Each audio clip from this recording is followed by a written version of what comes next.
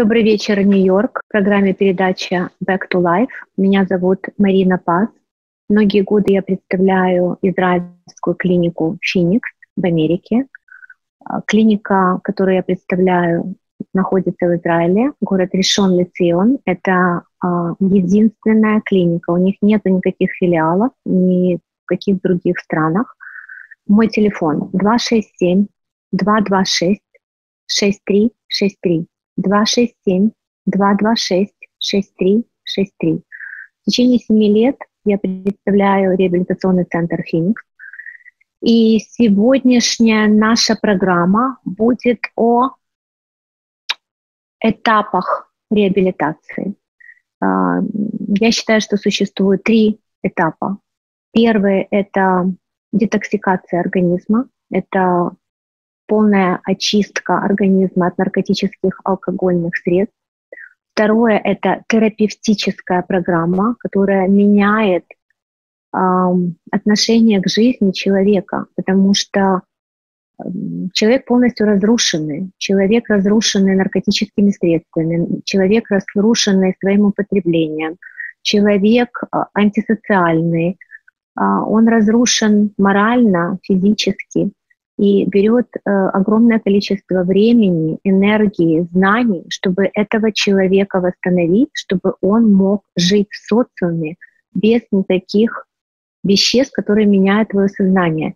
И а, я хочу обратить внимание родителей и близких людей. Очень многие люди мне звонят, и они верят в какие-то чудеса, в какие-то там, не знаю, колдования, заговоры.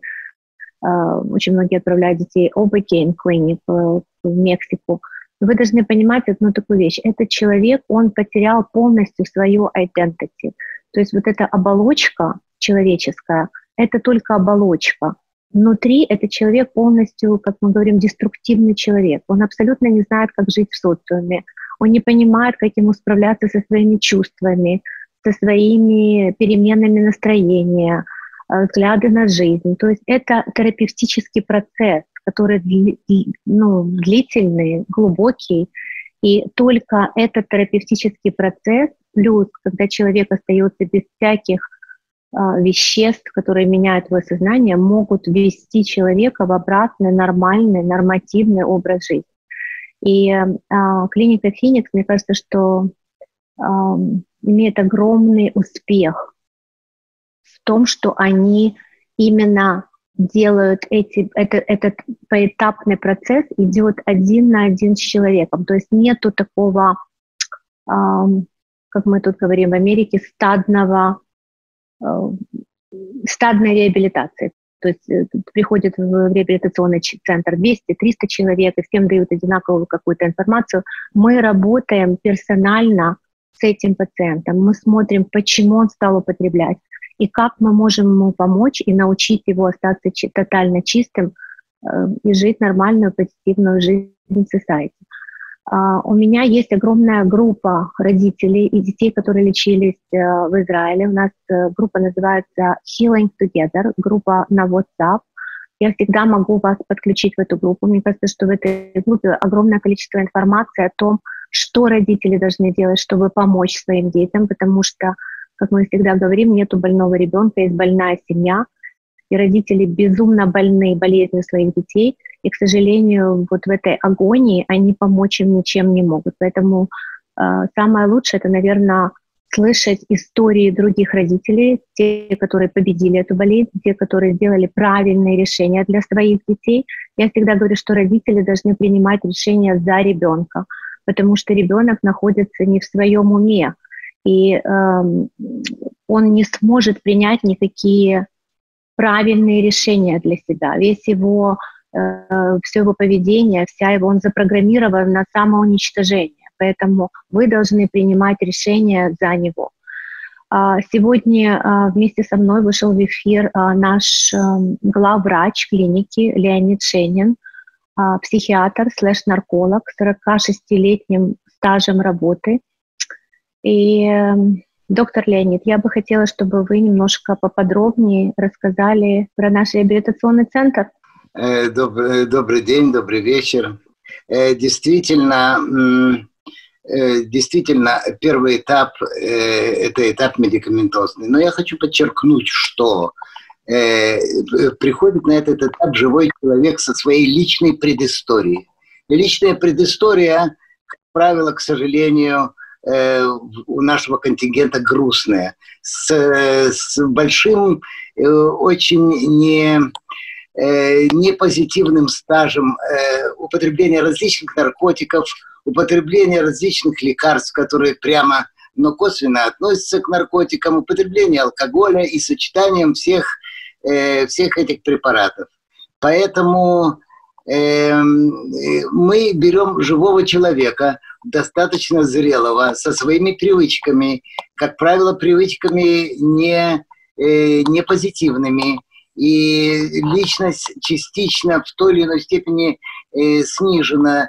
Я э, боюсь этого слова деградирована, но чаще это э, именно так, благодаря вот этой наркотизации, употреблению, длительному употреблению всех этих препаратов. Особенность, э, я думаю, что наше заболевание, наше страдание не имеет границ. Но в каждой стране есть особенность Соединенных Штатов Америки тем, что Э, там прекрасные врачи. Хочу подчеркнуть, что пациент из Соединенных Штатов Америки – это пациент, который э, тот, тот или иной период времени лечился э, э, психиатром или терапевтом, или еще какими-то различными специалистами, которые, которые просто в силу э, технически не успе... поликлинического приема не успевают объять всю эту личность со всех сторон. И поэтому они лечат отдельные симптомы, забывая, что за этими симптомами стоит личность. И таким вот образом нагромождаются и повторяются, и множатся различные лекарства. И типичный э, типичный образ американского, среднестатистического американского пациента – это человек, который с двумя мешками приходит в центр и говорит, что, он очень страдает, и что у него те симптомы, те проявления, те особенности. И требует, естественно, но если не требует, то он не представляет себе, что он может жить без каких-то э, химических подачек извне. Наш же акцент совершенно противоположный. Наш акцент – это на собственные силы. И для этого существуют такого рода центры, как «Феникс». И э, здесь очень важно, э, нету мелочей. Очень важно, что наш центр, он не, не является какой-то колонией из тысячи пациентов, где нельзя осуществить индивидуальный э, э, прием и подход. И с другой стороны, это не а, человек не один на один с врачом или с психологом. Это есть компактный э, коллектив, э, в которых, и это очень важно, когда человек чувствует, что он не один, что вокруг него э, люди с, э, примерно его возраста, э, примерно с такими же проблемами, он видит э, людей в начале, он видит разницу между пациентами в начале и в конце – он видит, э, видит и слышит наших уважаемых инструкторов, которые когда-то, очень давно, 10, 15, 20 лет начинали тоже с нуля, с его же нуля. И он видит, что болезнь можно победить, можно вылечить. И это живые примеры. Я это подчеркиваю, чтобы э, сказать, насколько важен коллектив. Человек может хотеть э, Э, уйти от наркотиков, но когда он находится в среде своей, своего обитания, когда за каждым углом знакомые лица, знакомые углы, знакомые э, станции, где все это продается, это очень трудно. Сила э, зависимости очень сильная, и она проникает во все уголки э, личности. И поэтому вот такой отрыв в виде э, приезда в, совершенно в центр, где все, каждая, каждая минута создана для того, чтобы человек превратился, не, не просто перестал жаловаться на что-то, а превратился в иную, качественную иную личность. Это с моей точки зрения, очень важно. Ну, а, собственно, первый этап, что я хотел подчеркнуть, это действительно медикаментозный. К нам люди приходят с различными антинаркотиками, с различными сочетаниями, с различным стажем употребления и алкоголь, и антидепрессанты, и различные чисто симптоматические вещи, которые возникают в силу, в силу изменения, если не прямых, то косвенных нарушения вследствие наркотиков, там проблемы с желудочно-кишечным трактом, проблемы с сердцем, проблемы с, с сахаром, э, сосудистыми явлениями. Все это у нас, у нас в арсенале все лекарства, и мы берем э, под свою опеку э, людей, зависимых от всех наркотиков, в том числе от э, заменителей наркотиков, таких как метадон или сабаксон или субутекс. И я это подчеркиваю, потому что в центрах э, этих заменителей наркотиков очень часто, к сожалению, говорят о том, что, дорогой мой, вот ты пришел, и тебе нужно навечно, и ты будешь вечно всю жизнь принимать эти препараты. Нет, нет, нет и нет, и я это подчеркиваю. Мы снимаем это. И я не говорю, что это с рывком за один-два дня. Это все процесс постепенный. Поэтому на этом основано длительное пребывание а, ну, 6 месяцев. Реабилитационно, в реабилитационном центре. Да, и мне кажется, что уникальна, уникальная э, ваша клиника тем, что вы стараетесь человека оставить тотально чистым, и научиться ему справляться со своими эмоциями, чувствами. Да, да, да. Тотально чисто. Верно. То есть не пересаживают, не пересаживают с одних медикаментов на другие. Ни в коем случае. Да, потому что как бы э, мне кажется, что методики американские – это а, выписать таблетку. То есть ты можешь убрать героин, выписать собак. Вводите в социальную жизнь тотально чистым – и поэтому, мне кажется, эта программа настолько эффективна. Плюс, мне кажется, очень да, огромная, огромная а, плюс в этом, что человек уезжает из своей а, токсичной среды и находится совершенно в чужой стране, и у него есть препятствие уйти из реабилитации, потому что, как мы все знаем, тут это делается очень легко, а за счет того, что ты находишься в далеком Израиле, и это не так легко.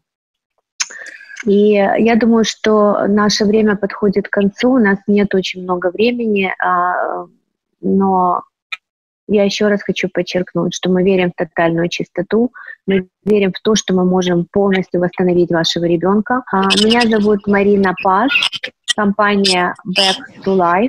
Мой телефон 267 226 6363. Я еще раз повторю, меня зовут Марина Паш. Клинику, которую я представляю в течение 7 лет, называется «Феникс». «Феникс» открыт 12 лет.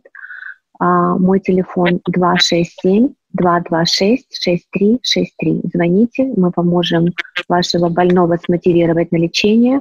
Мы отправим его на лечение, мы встретим его после лечения.